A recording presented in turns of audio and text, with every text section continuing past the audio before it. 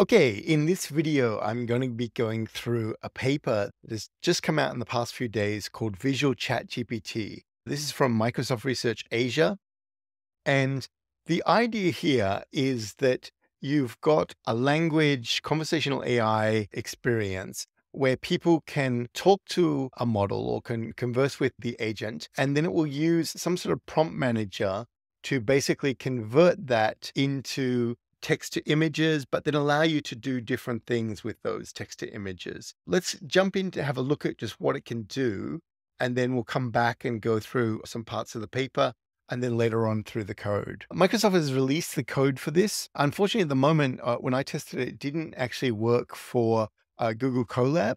But lucky for us, Rupesh Sreeraman, hopefully I'm pronouncing that, has actually made a, a, a Colab version. It's basically made some edits to it to turn off some of the modules so that it will fit in the Colab GPU and also fix some things in the requirements and stuff like that to basically get it going. And it, it seems to work quite nicely here.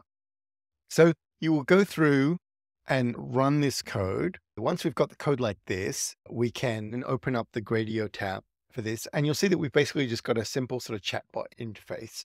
So if I just come in here and type in, make a picture of a cute cat. And you'll see that if we come back to the Colab, we can see that it's actually kicking off a LangChain agent. So I'll walk through the code later on and we'll have a look at exactly what's going on. But we can see here that this LangChain agent has basically started we've got a input from make a picture of a cute. We can see that it's refined the actual prompt that I gave it. So it's actually added cinematic lighting, highly detailed concept art, a lot of the typical sort of stable diffusion kind of things in there. And then it's created an image. So let's go back and look at this. And we can see that, yeah, that's a pretty cute cat, right? It's basically done a standard text to image kind of thing using probably stable diffusion here. But we can then now go along and say things like, what color is the cat? We can see the cat in the image is gray. Can you change the cat to be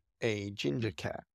So the version that we're using in Colab doesn't have all of the models in this. And this puts us at a little bit of a disadvantage compared to full one. But let's come in and look at what it's doing. So in this case, rather than modify that image, it's actually just making a new image here. So it's made a new image. Here is an image of a ginger cat.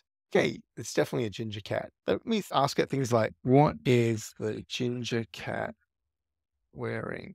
Okay, so it's wearing sunglasses. So the way that it's doing that for these questions like this is that it's using the Blip VQA. So the VQA is a visual question answering module. And Blip is a model that was created by Sales that is able to basically extract embeddings out of images and use that for captioning, use that for determining content that's in there. So we could ask it, what is the background?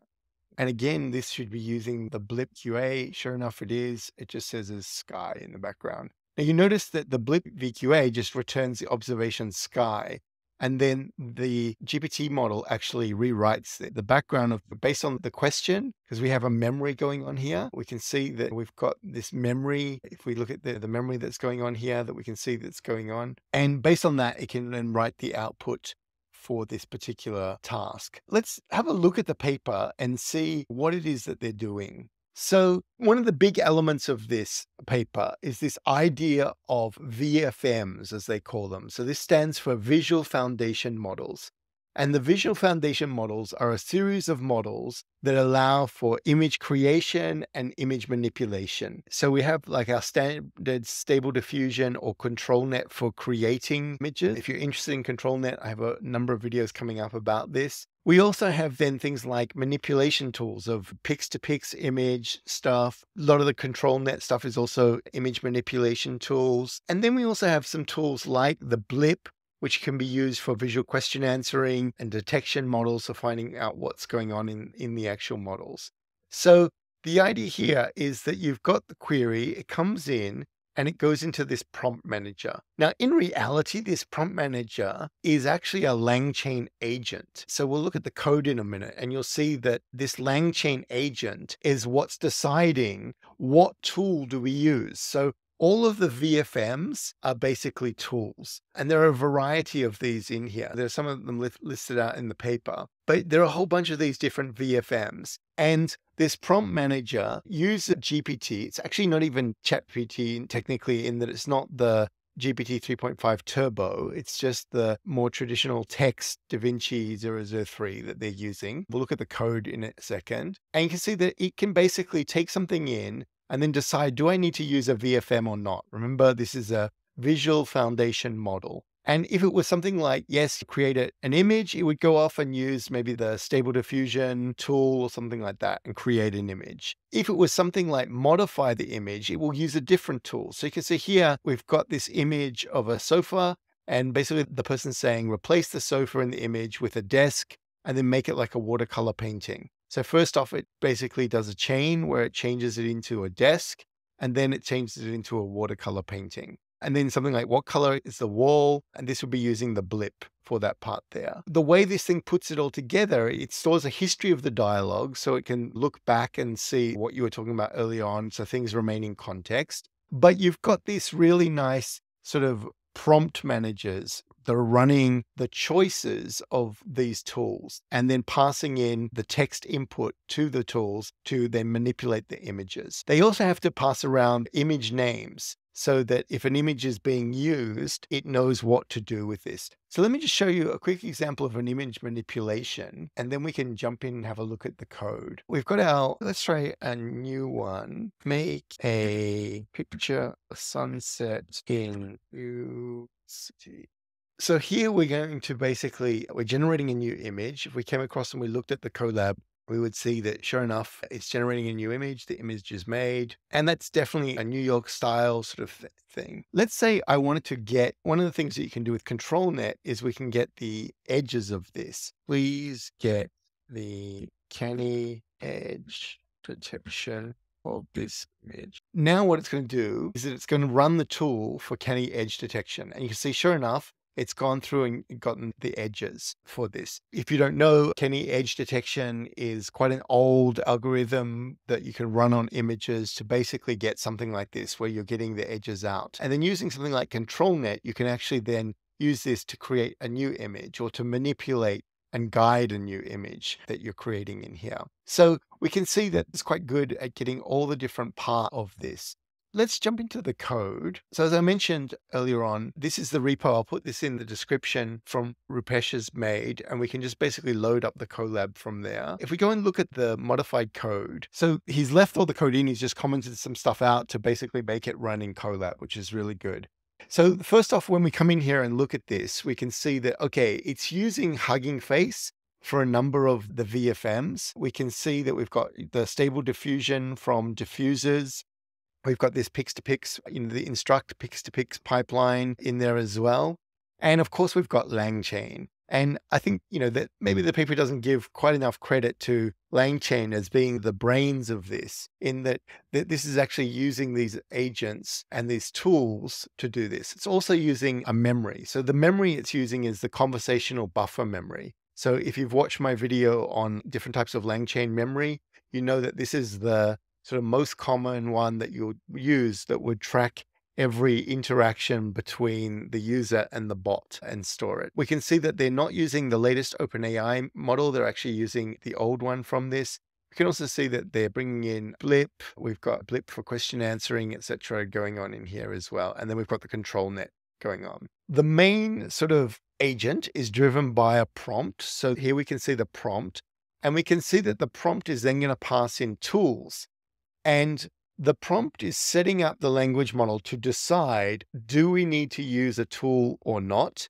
And then if we do, what tool do we need? So if it's yes, it needs to then basically tell us what tool to use. So if we look back again at the Canny Edge one that we just did, we got edge detection. So do we need to use a tool? Yes. And then the edge detection. And then what was going to be the input to that tool? It was going to be this image that we were passing in and that we were getting this image to canny inference going on, on there. We can also see that them setting up sort of functions, some functions for doing different elements of this, and also classes for the different models or the different VFMs as they're referring to them. So the mask former I don't think we actually have that in the Colab version. We can look down. We've got Pix2Pix. A number of these are actually turned off in the Colab version. So let me scroll down and we can actually have a look at. So we can see that this is just defining all of these tools. So it's, it's useful code to look at and work out how you would use these tools if you wanted to do something like this for yourself. Okay, so here's our conversation bot.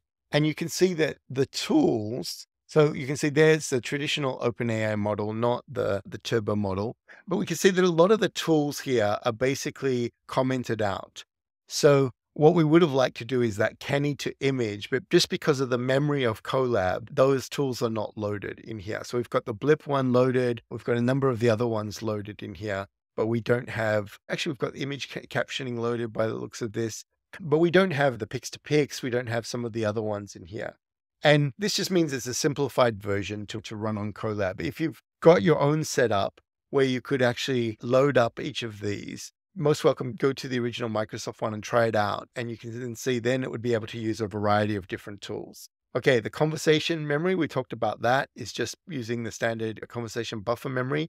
And then we can see the tools that is getting passed into the agent. So when the agent gets initialized, it's told all the tools that it's got access to so that it can choose which tools to use. And you can see that, okay, here we've got a description. Let me just come back to the thing and ask it to give us a, give me a description. Let's get for the image. Okay, so I think I missed out a space there. Okay, so it's interesting. Like it's used that and it's basically said this image shows a view of the Empire Building in New York. What time of day is it in the image? Okay, the image shows a sunset. So to do those things, they're having to look up descriptions and they're using the blip VQA for that. And just to show you that the language model is still there. So if remember that the language model is deciding all the time, do I need a tool or do I not need a tool?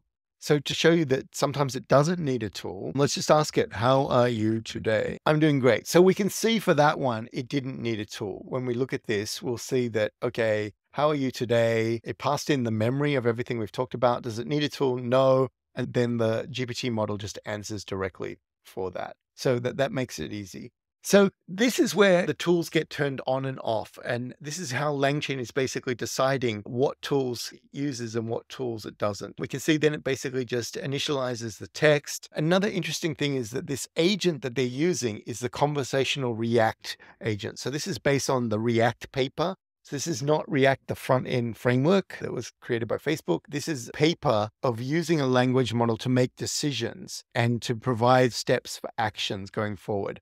I'll do a video about that and how that works when I get to making some videos about agents in LangChain. The rest of it hmm. is just basically putting it all together. I think that sort of covers most of it. If you're interested in the paper, it is worth looking at the different models that they use and how it's it's put together. They do give a little bit of credit to LangChain. They mention it down here. And you can see here that they do mention also that they're just using the original text DaVinci 003. And to run the full 22 visual foundation models, they actually need four V100s to do that. So that's a bit beyond what we've got in Colab for this. Anyway, have a play with it. It's a fun model to play with and just see how it was put together. If you have any questions, please put them in the comments and I'm happy to answer them. Let me know if you would like to see more paper walkthroughs for this kind of thing. As always, if you found this useful, please click and subscribe and I will talk to you in the next video. Thank you for watching.